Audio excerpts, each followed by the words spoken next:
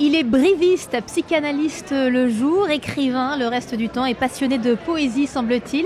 Et il publie ce livre. Bonjour Philippe Bourret. Bonjour Francine Thomas. Ce livre s'appelle Ligne de fond aux éditions La Rumeur Libre. C'est une conversation profonde et riche avec euh, Werner Lambrisky, qui est un poète belge.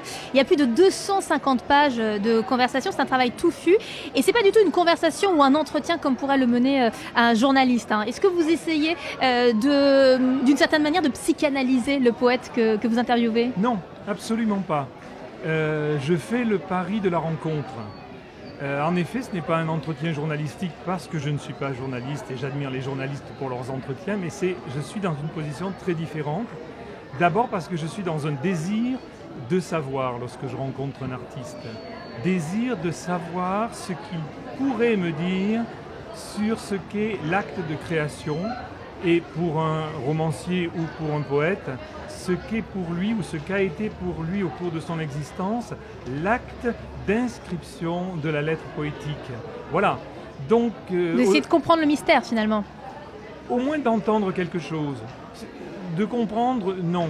Mais de pouvoir faire passer quelque chose de ce que le poète peut dire et en suivant les indications de, Freud qui disait euh, Mes exposés sont très lacunaires si vous voulez en savoir davantage, adressez-vous au poète. Alors en tout cas, vous n'avez pas peur de la complexité et j'ai l'impression que vous faites confiance à l'intelligence du lecteur.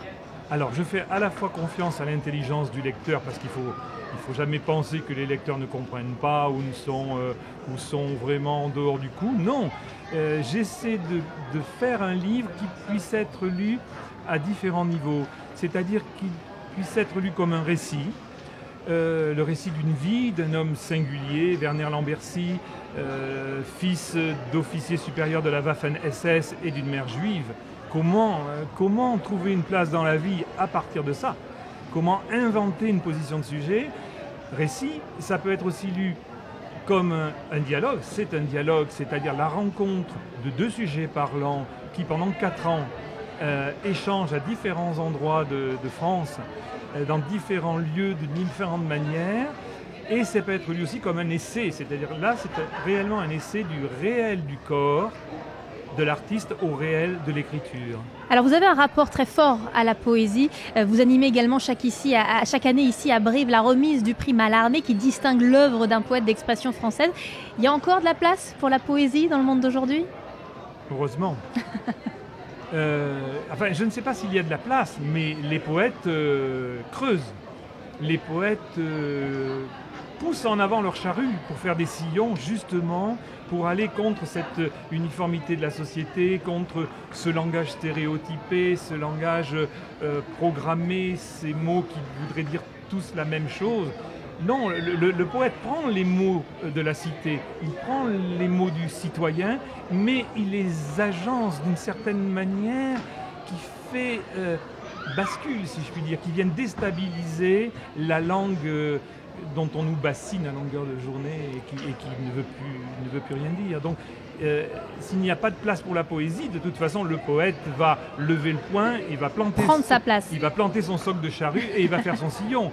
Ça, il faut faire avec les poètes. Hein. il y a un rapport entre Brive et le poète, parce que quand même ce prix Malarmé qui est remis chaque année ici euh, à, Brive, et puis je vous observe euh, depuis le début de cette foire du livre être très entouré, très attendu sur votre stand. Est-ce qu'il y a une société secrète de poètes à Brive? Qu'est-ce qui se passe? Mais je crois que les poètes sont dans une société secrète à Brive et ailleurs.